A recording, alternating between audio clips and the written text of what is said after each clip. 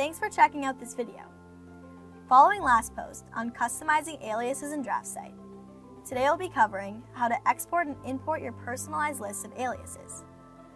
As a recap, aliases are abbreviations of DraftSight feature names, which you can enter into the command line at any time to activate their designated functions. You can edit your aliases by selecting the options icon in the customization section of the Manage tab in the ribbon. From there, just press User Preferences and specify aliases to view a table listing all of your commands and their accompanying alias names.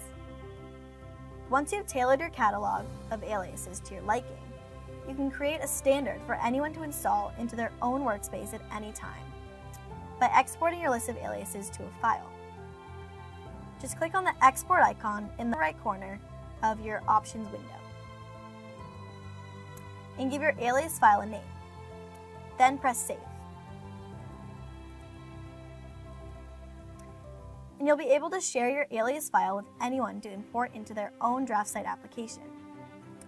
That said, importing aliases is just as easy as exporting them. Just click on the import icon, select your alias file, and press OK. So try this out for yourself to do more with your DraftSight experience. If you're looking to learn more, visit the blog page or visit draftsight.com.